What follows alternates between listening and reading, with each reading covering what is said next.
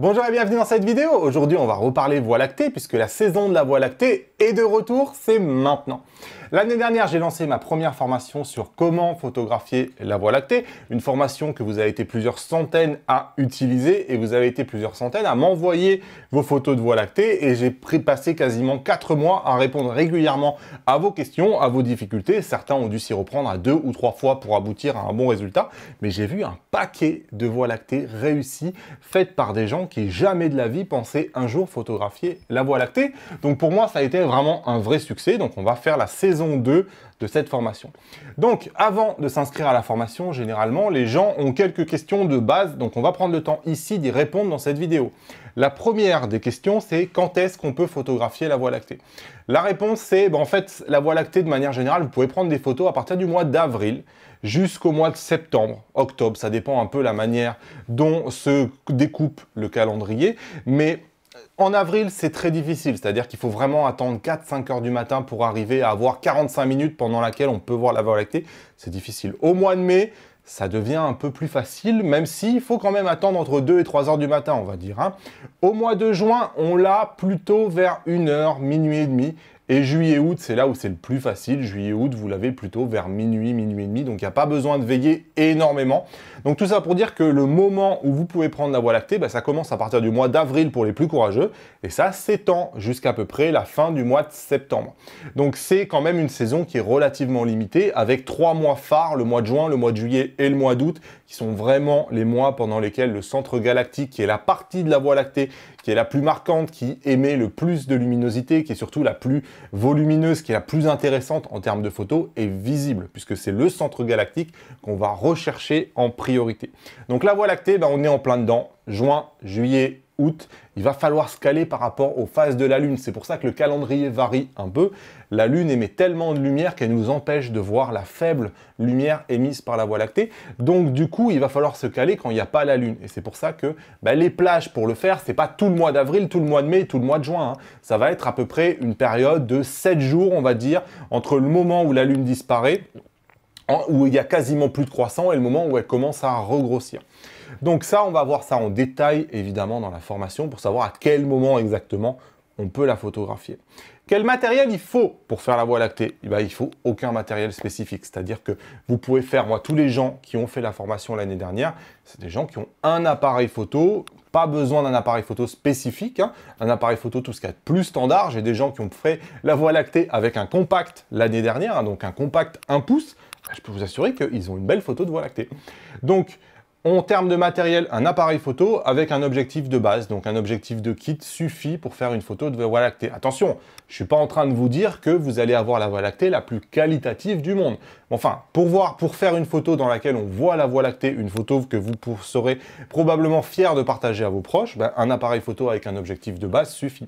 L'année dernière, par exemple, j'ai énormément de gens qui ont fait la Voie lactée avec un Fuji et l'objectif de kit, le XF 18-55 2.8 qui ouvre à 2 8 à 18 mm, franchement, c'est très bien pour débuter et pour faire une photo de Voie lactée. Si vous avez le nouveau, le XF 1680 f4, bah, vous allez monter un tout petit peu plus dans les ISO.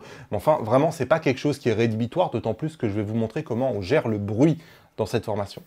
Donc en termes de matériel, bah, il faut rien de spécial, il faut un trépied, ça oui, vous serez obligé, si vous n'avez pas de trépied, d'acquérir un trépied, ne serait-ce qu'un trépied de base, hein, si vraiment vous voulez pas du tout investir. Enfin, il faudra quelque chose qui ne bougera pas du tout, parce qu'on va être obligé de faire des pauses longues pour faire la voie lactée. En plus, si on veut pouvoir empiler plusieurs photos pour réduire le bruit, bah, il faut vraiment que la photo ne bouge pas du tout. Donc vous serez obligé d'avoir un trépied et une lampe frontale. Mais ça, je vous dirai quel trépied et quelle lampe frontale je vous conseille. Donc en termes de matériel, c'est globalement très réduit. Hein. Il ne faut rien de spécifique à la Voie lactée. Ensuite, quel niveau il faut avoir en photo pour faire la, Voie lactée? Ben Là aussi, c'est assez simple. Hein. C'est-à-dire que n'importe qui peut faire la Voie lactée à partir du moment où il sait à quoi s'attendre, comment la trouver et les réglages qu'il faut appliquer. C'est presque une recette en définitive à appliquer. Il faut avoir compris quelques, quelques petits concepts. Bah, à quel moment il n'y a pas la lune, à quel moment on va, à quel endroit il faut aller, à quelle heure il faut y aller. Donc plein de petits trucs comme ça où il faut quand même avoir les choses clairement inscrites dans sa tête. Et ensuite, il y a quelques réglages très simples, vraiment très très simples à mettre sur l'appareil photo pour arriver à faire la Voie lactée. La Voie lactée, elle est faite en stage à longueur d'année par des gens qui débutent la photo. Ça ne pose strictement aucun problème. Moi, l'année dernière, j'ai pas constaté de personnes qui n'arrivaient pas, à régler leur appareil photo pour faire la Voie lactée. Donc, c'est vraiment quelque chose qui est accessible. Où, où je peux faire la Voie lactée? Pas partout. Si vous habitez en Belgique, c'est mort. Vous avez le pays qui dispose de la pollution lumineuse la plus forte d'Europe c'est mort. La pollution lumineuse, ben, en fait, c'est l'éclairage des villes qui crée comme une bulle, en fait, une bulle très très large et qui monte très haut dans le ciel, qui quelque part, cette bulle de lumière, elle vous empêche de voir la Voie lactée, elle vous masque la Voie lactée. Ça fait comme une lumière orange qui, sur votre photo, tue complètement toutes les étoiles. Donc vous ne pourrez pas faire la Voie lactée dans une ville. La Voie lactée, il va falloir regarder une carte de pollution lumineuse et cette carte de pollution lumineuse, elle va vous indiquer quelles sont les zones sont absolument à bannir, quelles sont les zones qui sont moyennes et quelles sont les zones qui sont bonnes et excellentes. Hein. Et en fait, au fur et à mesure que vous allez dans des zones excellentes, vous allez voir de plus en plus d'étoiles et vous allez avoir une photo de plus en plus pure en termes de qualité du ciel. Donc, il va falloir viser des zones qui sont un peu loin des grandes villes. Donc, je vais vous montrer une carte de pollution lumineuse de la France et vous allez pouvoir naviguer dans cette carte-là à la recherche des coins qui disposent de la meilleure qualité de lumière, donc les coins les plus sombres possibles autour de chez vous. Hein. Vous allez voir ça assez facilement grâce à la carte. Bon, une voie lactée, c'est bien. Une fois que vous avez fait votre première photo de voie lactée au-dessus d'un champ ou de quelque chose qui n'est pas très intéressant, généralement, on veut passer à l'étape suivante. Et l'étape suivante, c'est de composer une vraie photo. Et qui dit composer une vraie photo dit trouver un sujet. Et c'est souvent l'année dernière où j'ai remarqué que certaines personnes ont des difficultés en définitive à trouver un bon sujet pour avoir une photo de la Voie lactée qui soit pas juste une photo de la Voie lactée avec rien dessous ou juste quelque chose qui est tout noir. Donc l'idée c'est de trouver justement un premier plan qui est intéressant, qui va se marier avec la Voie lactée de façon à avoir une photo complète hein, et pas juste un ciel sans rien dessous. Alors on me demande souvent, Damien, bah, qu'est-ce que tu me conseilles, comment je peux faire pour trouver un sujet intéressant? J'ai pas d'idée. Moi, ce que je vous conseille généralement, bah, c'est tout simplement de vous inspirer des autres. Hein. Donc ici, c'est sûr que avant de faire des photos de Voie lactée insolites qui n'ont pas été vues par les autres, bah, il va falloir reproduire ce qui a déjà pu être fait et donc vous avez déjà énormément de travail. Pour ça, bah, vous pouvez commencer en regardant, tout en tapant sur Google un Voie lactée et votre numéro de département. Généralement, dans Google Images, vous allez avoir beaucoup de photos prises par les autres et vous allez peut-être identifier quelque chose qui est pas loin de chez vous et qui fait un bon sujet pour la Voie lactée. Un bon sujet pour la Voie lactée, c'est quelque qui va plutôt pointer vers le sud. C'est-à-dire que votre appareil photo doit être pointé plutôt vers le sud que plutôt vers le nord. Hein. Donc, il va falloir se mettre au-dessus, donc au nord de ce sujet-là, de façon à vous pointer vers le sud. tout ça, évidemment, on y reviendra en détail et on verra exactement comment faire pour se placer. Mais pour trouver des jolis spots, je vous conseille aussi de regarder les, tous les ans, au mois d'août, généralement, il y a des nuits des étoiles filantes, des nuits d'observation du ciel. Et donc, tous ces stages, il y en a des milliers en France chaque année, jamais au même endroit. Tous ces stages-là, ils ont lieu toujours dans des endroits qui sont idéaux pour la Voie lactée. Faites une recherche. Est-ce qu'il n'y a pas eu à côté de chez vous ou, à proximité des stages comme ça pour observer les étoiles filantes, observer le ciel? Et donc ces endroits-là, c'est toujours des endroits qui sont noirs et généralement des endroits donc, qui sont assez intéressants pour vous faire des photos de Voie lactée et donc pour vous aider à trouver un spot. Ensuite, on a énormément d'agences photo ou de stages photo, de photographes qui accompagnent des groupes pour faire des voies lactées. Alors, je ne vous dis pas d'aller vous inscrire à ces stages-là, mais ce qu'il faut faire, c'est tout simplement trouver ces stages-là ou des anciens stages et regarder où est-ce qu'ils sont allés, quelles photos ils ont faites. Et ça peut vous indiquer bah, finalement où est-ce que vous devez aller faire une photo de Voie lactée. C'est quelque chose qui marche très très bien. Quand vraiment vous êtes en panne d'aspiration, faites des recherches sur Internet sur des stages Voie lactée vous allez en retrouver en général. Moi, je l'ai fait sur mon département il y a une semaine ou deux. franchement, je crois que j'ai des voies lactées pour trois ans. Hein. Parce que on a énormément de stages, vraiment, à travers la France. Et tous ces gens-là, bah, quelque part, ils répartissent bien tous les endroits qu'on peut se mettre et toutes les compositions intéressantes qu'on peut faire avec une voie lactée. Hein. Donc, pour trouver un nouveau spot de voie lactée, c'est vraiment comme ça que je vous invite à faire cherchez sur Google, cherchez des idées au niveau des, pas des stages, mais des nuits, des étoiles filantes qui ont lieu au mois d'août, etc., qui sont des endroits très très sombres, et cherchez ensuite où est-ce qu'ont lieu les stages de Voie lactée autour de, dans votre région, et vous allez voir que vous allez avoir plein de nouvelles idées. Une chose que j'ai vue l'année dernière et qui euh, est importante aussi de comprendre, c'est que la Voie lactée, c'est une arche. Donc c'est pas juste quelque chose qu'on va voir dans le ciel et qui s'arrête, c'est une arche qui généralement va commencer, alors ça dépend un peu comment vous êtes positionné, mais potentiellement la Voie lactée, vous pouvez voir une vraie arche, et donc parfois ça dépend un peu des époques de l'année, elle peut passer au-dessus de votre tête et finir derrière vous. Elle commence devant et elle finit derrière vous. Et donc souvent, je vois des gens qui se trompent de direction, c'est-à-dire qu'ils photographient le côté de la Voie lactée qui n'est pas intéressant. La Voie lactée, elle va commencer au sud généralement, avec quelque chose qui est le centre galactique, qui est la zone qui est la plus intéressante et qui se décolle très très peu de l'horizon. Hein. On parle du centre galactique, au mieux vous allez le retrouver à 15, entre 15 et 20 degrés au-dessus de l'horizon. Donc c'est pour ça qu'il ne faut vraiment pas de pollution lumineuse parce qu'on est vraiment très très proche de l'horizon et il faut une vue dégagée. Et ensuite, vous allez avoir comme une traînée d'étoiles et cette traînée elle fait une arche. Et l'arche, donc ça peut commencer selon comme vous, comme vous êtes positionné, vous pouvez l'avoir de gauche à droite. Quand on fait un panorama de Voie lactée, ben, on voit justement toute l'arche. Je vous mets des panoramas ici. Mais on peut parfois, ça dépend un peu où vous allez vous trouver, la voir qui passe au-dessus de vous et avoir la fin de la Voie lactée derrière vous. J'ai eu des gens l'année dernière qui ont photographié le mauvais côté de la Voie lactée. Donc ça, c'est quelque chose auquel il faut être sensibilisé. Hein. Il y a deux côtés de la Voie lactée. Vous trompez pas de côté, il faut photographier le côté qui est intéressant. Et c'est le côté qui est plutôt orienté vers le sud, même si ce n'est pas exactement sud. Je dis ça pour résumer. Voilà, donc comment photographier la Voie lactée, c'était le titre de la formation. C'est le titre de la formation que je relance donc pour cette saison 2. C'est une formation que vous allez trouver donc sur le site comment photographier lactée.com avec les mots espacés par des tirés. Je vous mets le lien hein, de toute façon dans la description.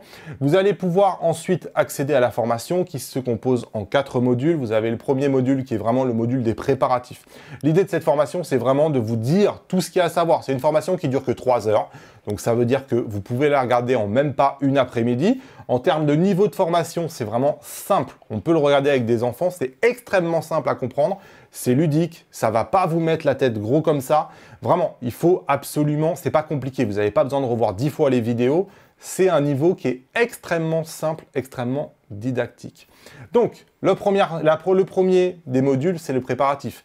Quand, où et la météo. Je vais vraiment vous expliquer tout ce qu'il faut savoir et tout ce à quoi il faut penser pour que vous tombiez dans aucune galère. la seconde vidéo, c'est sur Photopills, qui est l'application que je vais vous dire d'installer sur votre smartphone, donc Android ou iOS. C'est une application que vous allez utiliser tous les jours. Hein. Moi, je l'utilise tous les jours, toute l'année. Mais en plus de tout ça, c'est une application qui va vous aider à repérer la Voie lactée, à savoir exactement quand est-ce qu'elle va être, où elle va être, Vraiment, ça va tout vous faire, y compris les réglages. C'est-à-dire que c'est une application qui va vous dire régler votre appareil photo avec telle valeur. Donc c'est vraiment une application qui est indispensable. Moi, je m'en sers à longueur d'année. Elle va me dire où est-ce qu'est la lune, elle va me dire où, où se lève le soleil, où se couche le soleil.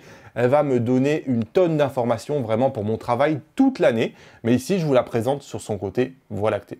Ensuite, je vais vous dire bah, quel matériel il vous faut, qu'est-ce qu'on va faire avec ce matériel-là. Ensuite, on va voir un exemple de repérage. L'idée, c'est ici de vous transmettre de l'expérience. Hein. Donc, je vais vous montrer, moi, comment j'ai repéré une voie lactée. Donc, je vais vous montrer bah, qu'est-ce que je regarde au moment du repérage. Puisque, oui, une voie lactée, je ne vous conseille pas de vous pointer à 2 heures du matin dans un endroit que vous ne connaissez pas. Donc, il va falloir aller voir un jour. Donc, pas forcément le même jour où vous faites la voie lactée, mais il va falloir vous rendre sur place pour que vous puissiez visualiser, pour que vous puissiez repérer et vérifier où est-ce que va être la Voie lactée, à quelle heure. Le repérage est une étape importante.